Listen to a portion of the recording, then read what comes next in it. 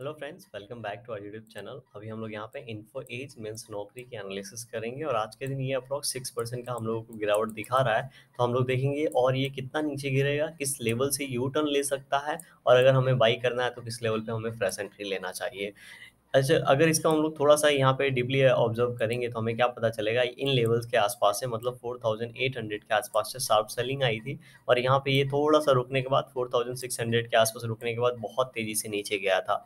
अभी देखेंगे स्लोली उस लेवल के आस-पास तो यहाँ पे गया है लेकिन इन्हीं लेवल से इसको क्या मिल गया रजिस्टेंस इस रजिस्टेंस मिलने के बाद क्या यहाँ पे नेगेटिव हुआ है? आज गैपडाउन ओपनिंग के बाद भी ऊपर आने की कोशिश किया लेकिन शार्प सेलिंग हो गई। मतलब ऊपर वाले प्राइस पर जैसे ही यहाँ पे बायर्स को ये दिखा बायर्स ने अपना माल यहाँ पे निकाल लिया और ये नीचे की ओर गिर रहा है। तो यहाँ पे क्या हमारे लिए है? ठीक है, अगर हमारे पास पोजिशन है तो हमारा स्टैंड पॉइंट क्या होना चाहिए? अभी देखिए, ये जिस तरीके से नीचे गिर रहा है, अगर हम लोग देखेंगे तो ये यहाँ पे ये लेवल है अराउंड ये लेवल है। लेवल हम लोग देख लेते हैं, ये है अराउंड 4080 के आसपास का लेवल, राइट? तो ये जो 4080 के आसपास का लेवल है, इस लेवल के आसपास यहाँ पे एक तो एक ये हॉल्ट है प्लस यहाँ पे ये हॉल्ट है, ठीक है? तो दो हॉल्ट है हमारे पास तो मतलब यहाँ पे बहुत ऊपर से नीचे आ रहा है तो बहुत से ऊपर से नीचे जब आ रहा है तो जो लोग सेल कर रहे हैं, हो सकता है यहाँ पे वो पहुँच ले, इस लेवल के आसपास सेल ना करे, हो सकता है जब यहाँ से बाउंस बैक दे ऊपर की ओर, तब सेल करे, ठीक है? तो यहाँ से जब बाउंस बैक देता है, उसके बाद सेलिंग आती है तो इस तरीके का प्राइस एक्शन पैटर्न बनता है। और उसके बाद अगर बाइंग हो रही है मतलब यहाँ पे ज़्यादा बायर्स हैं और वो इस माल को उठा के लेके जा रहे हैं मतलब उनको लगता है कि फ्यूचर में ये और अच्छा कर सकता है अच्छा रिटर्न दे सकता है। और ये कैंडल जो बनते हैं, हमारे बाइंग और सेलिंग से नहीं बनते हैं, ये बड़े बायर्स और बड़े सेलर के कैन पोजीशन जब एग्जीक्यूट होते हैं, तब बनते हैं राइट तो यहाँ पे अगर इस तरीके का ब्रेकआउट होता है और इस तरीके से ऊपर क्यों निकलता है तो यहाँ पे बाइंग हैपनिंग हो सकती है। सेकेंड पॉइंट ये और कितना नीचे गिरेगा, अगर उसकी बात करेंगे तो हम लोग इस तरीके के चैनल में देखिए यहाँ पे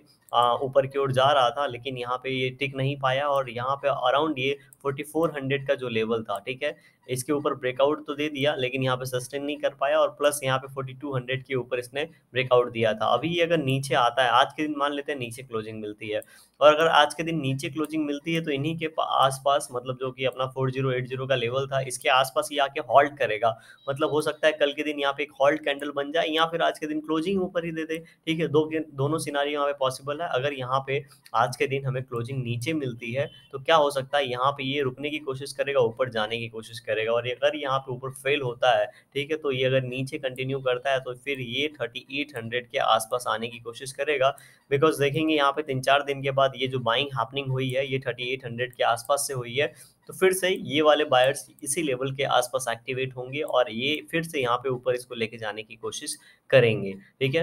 अगर ये ऊपर लेके जाने की कोशिश करते हैं और यहाँ पे ये पॉइंट बायर्स को अच्छा लगता है तो ज़्यादा माल यहाँ पे बिकेगा नहीं और ये फिर से ऊपर की ओर कंटिन्यू कर सकता है। लेकिन याद रखेंगे ये जो ट्रेंड लाइन जब इसको टच होगा तो यहाँ पे प्रॉफिट बुकिंग आएगी और इस तरीके से ये ट्रेंड लाइन के अंदर फिर से घुसेगा राइट लेकिन अगर यहाँ से ये बायर्स को, ये जो बायर्स ऊपर लेके गए हैं, ये सेलर्स को अगर सही दाम लग रहा है और वो बेच के माल निकल रहे हैं मतलब उनको जो स्कोप लग रहा है वो थोड़ा कम लग रहा है, फिर ये ये लेवल ब्रेक कर देगा।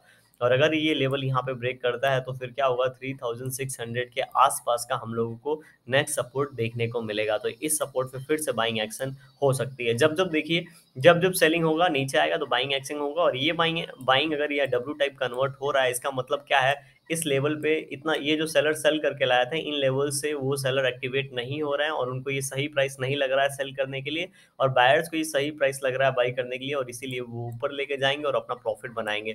जब यहाँ पे बायर्स को लगेगा, उनको अच्छा प्रॉफिट मिल रहा है तो उस समय वो जब माल अपना एग्जिट करेंगे तो उस समय क्या होती है? सेलिंग होती है और उस समय फ्रेश सेलर्स भी होते हैं, ठीक है, वो भी आके इसको सेल करते हैं और इसीलिए शेयर नीचे आता है। तो ये यहाँ पे सिनारियो रिपीट हो सकता है आने वाले समय में। इस चीज़ को हम लोग यहाँ पे ध्यान में रखेंगे। ठीक है बाइंग किस लेवल पे करना है? तो जी जिस समय पे यहाँ पे ये डब्लू टाइप पैटर्न बना दे, ठीक है? ये हो सकता है इन्हीं लेवल्स के आसपास कहीं पे बने, या फिर हो सकता है इस लेवल के आसपास कहीं पे बने। तो जिस टाइप पे डब्लू टाइप पैटर्न बनेगा, या फिर ये इस तरीके से जब इस तरीके से आके इस तरीके से गिरेगा, ठीक है? तो इस टाइप से हमारे पास क्या हो जाएगा? एक हमारे पास ट्रेंड लाइन मिल जाएगा। उस ट्रेंड लाइन को हम लोग क्या कर सकते हैं? जब ब्रेकआउट होगा तो हम लोग वहाँ पे स्विंग ट्रेडिंग प्लान कर सकते हैं, या फिर ब्रेकआउट हम लोग प्लान कर सकते हैं। छोटे एसएल के साथ एक अपना जो बड़ा प्रॉफिट लेने का यहाँ पे एम रहता है, उसे हम लोग यहाँ पे अचीव कर सकते हैं। तो वीडियो पसंद आई होगी तो क्या करना है लाइक कर दीजिएगा, चैनल बनाए नए होंगे सब्सक्राइब कर सकते हैं। Thank you for watching this video